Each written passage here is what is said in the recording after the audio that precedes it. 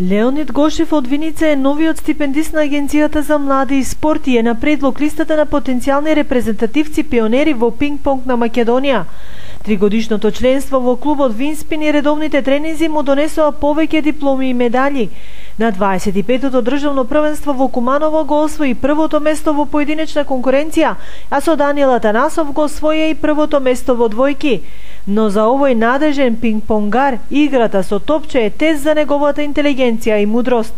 Планирам пак редовно да тренирам и да направам солидни резултати на Балканското првенство во Бугарија.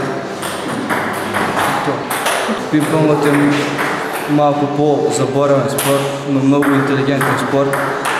А, секунди се во прашање за треба да размислиш што да направиш. Моите најдобри конкуренција двојки со Леонид Гошев на државното пионерство.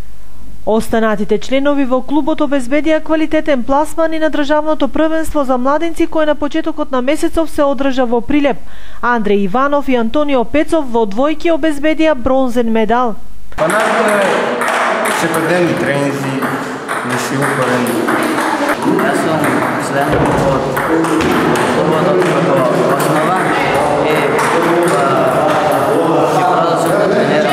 Меѓутоа, младите надежи на клубот се соочуваат со недостиг од сручна и професионална подршка. Председателот на клубот Сашко Милев изрази разочараност од спортската фела да се приклучи во тренинзите на клубот и да го продолжи успехот кој веќе е трасиран.